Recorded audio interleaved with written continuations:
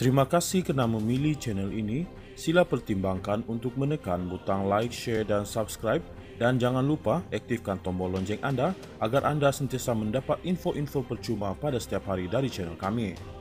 Jangan lupa tinggalkan komen anda kerana komen anda amatlah dihargai. Terima kasih. Orang tidak melabur. Sebab apa?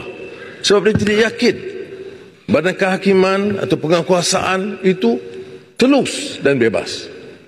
Mengapa dalam litigation kes-kes melibatkan syarikat-syarikat besar selama ini mereka pergi ke Singapura dan sebelumnya di Hong Kong dan tidak di mahkamah-mahkamah kita.